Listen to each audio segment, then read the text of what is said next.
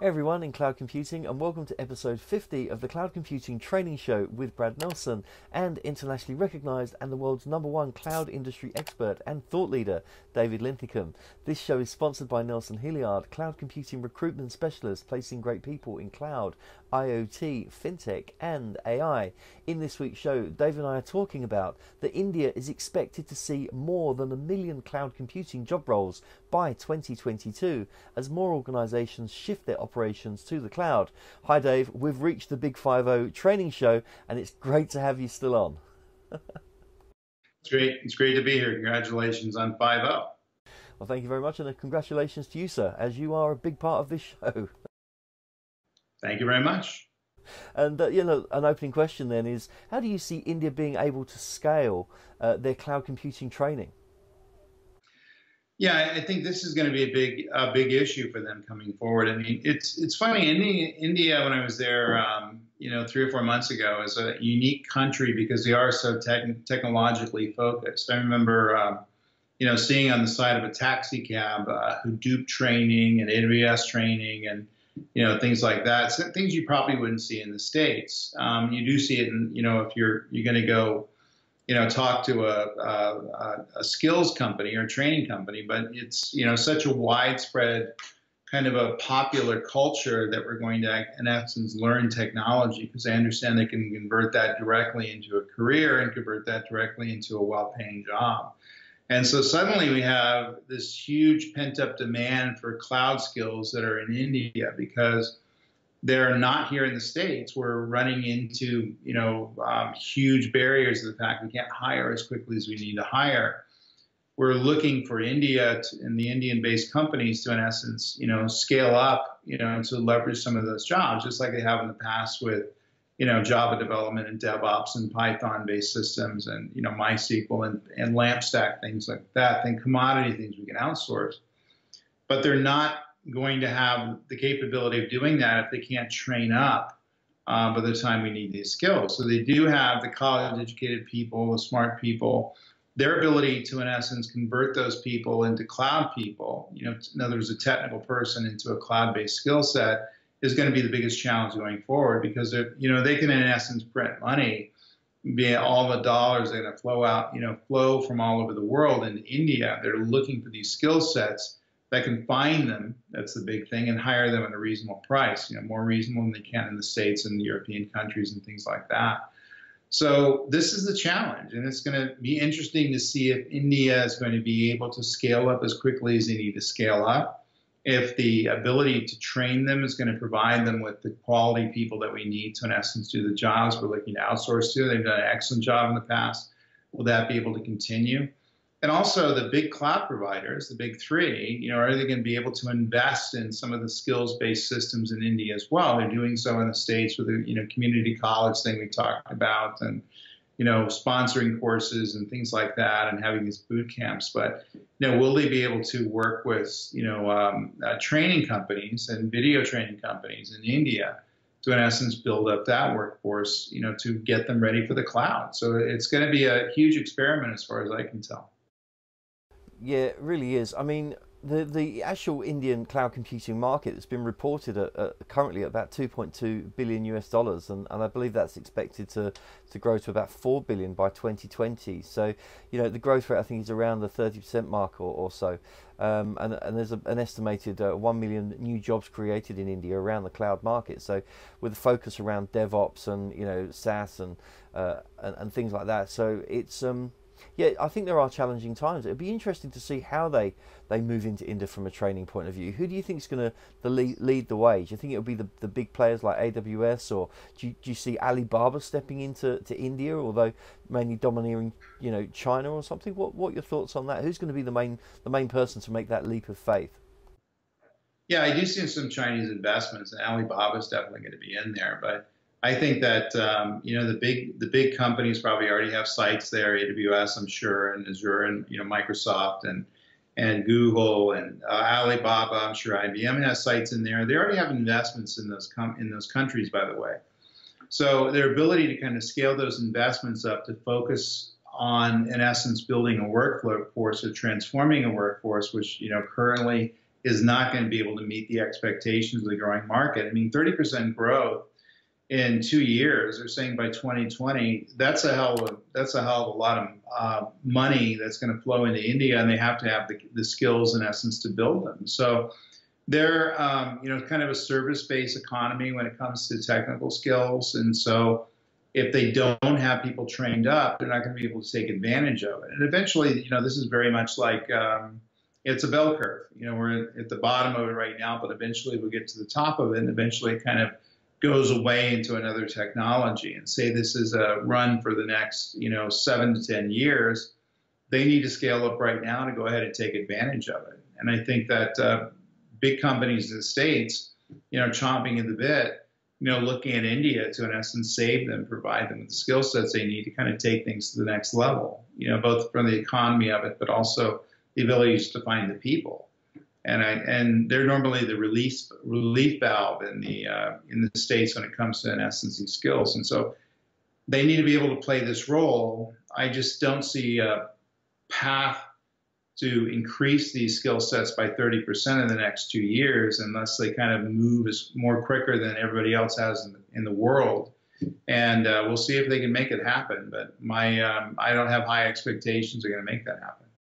Yeah, so true, and it, it begs the question: How much of a, an outsourced resource is uh, India going to become to the, the U.S. cloud economy? Doesn't it to fill that that that gap, that skill shortage that the whole world has, uh, has, has certainly felt with regards to the, the highly skilled cloud individuals that are needed. I think it's uh, one of those things that India has sort of stepped in in so many areas of uh, the Western world to fill those those gaps with being outsourced. And and again, you know, you're right. You know, there's a lot of facilities over there that have been uh, sorry. The, the the big players have already got facilities over there. We know that. You know, they've got the, the storage units over there. They've got the, the data centers over there. But essentially, who's going to go over there with the heavyweight training? I think that's what's really going to impact the market, and, and certainly, you know, like you say, bring India up to speed with all the training that's needed if they're going to fulfill their role as a, a, a real major service player in the cloud world, right? Yeah, I think they're going to have to invest themselves. You know, a lot of these things. I think the big companies are going to go in there and provide training, but obviously they're going to provide training around their technology, not cloud architecture, you know, systemic security and governance, and some of the things we talked about in the show. And so, the um, the trainers in India need to step up and make sure that they're going to have the capabilities on hand to make you know take things to the next level. And it's not going to be specific clouds all the time. And so if the cloud providers are coming in, they're just like software providers. They're they're in essence going to kind of muddy up the water because um, what's needed now is the ability to do cloud computing architecture, security architecture, DevOps moving into serverless computing, you know, um, uh, component-based development, container-based development, all these things that are people chomping at the bit to make it happen. Not necessarily the particular tactical cloud skills to, you know, take things to the next level. And I think that there has to be somebody who's designing this thing and planning this thing so those skill sets are going to be adopted at some time. They're going to be uh, transferred to people who need them. And right now, I don't see anybody who's planning this stuff out. I mean, the training companies are kind of working in an ad hoc way, in a very tactical way, and that's why I see, like I said, when I see, uh, you know, you know, 2020, it's going to be 2019 in 30 days.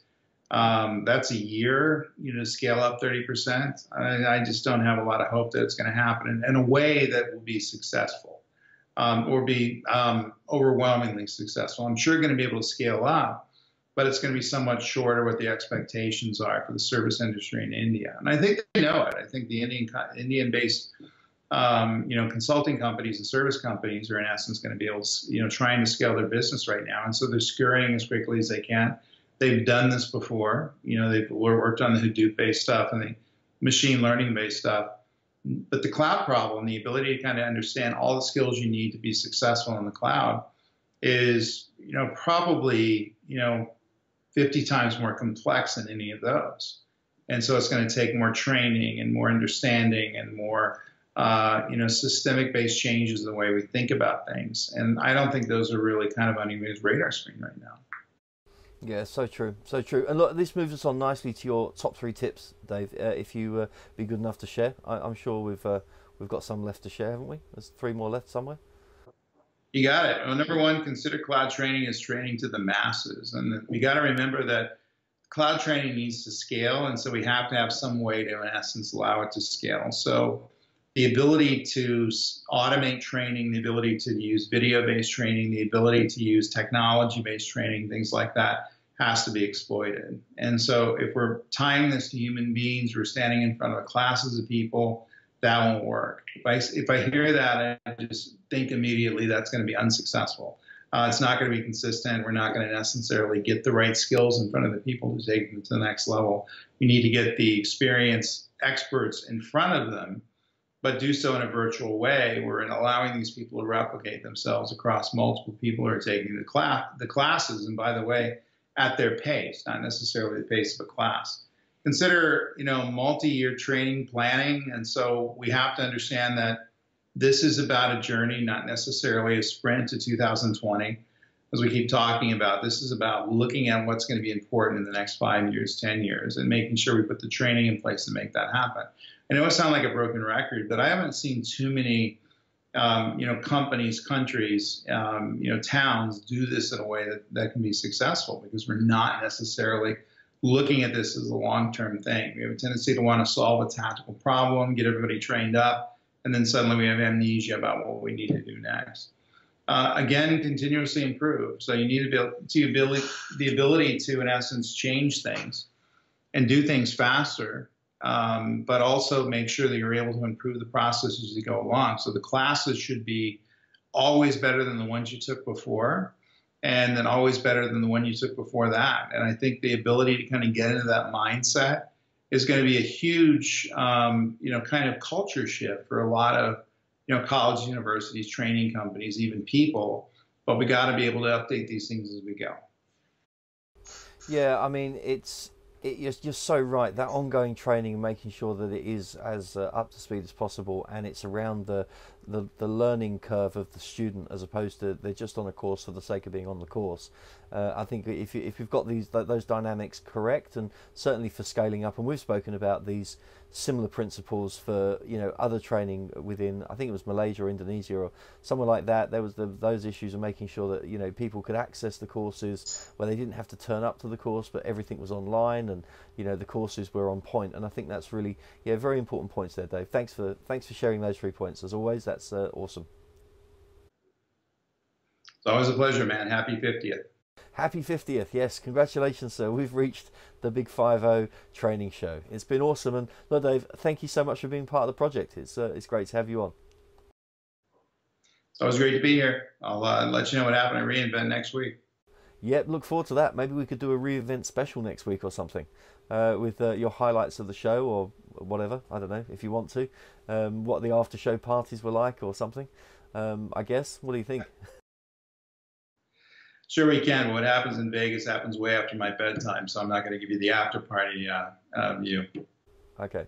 Well, we'll do the we'll do the clean version and hypoth- hypothetically think about what happened when you went to bed. yeah. Excellent. Well, you know, again, thanks for thanks for being part of the show, Dave. And look, thanks for watching, everyone. We really hope you enjoyed watching the 50th uh, training show.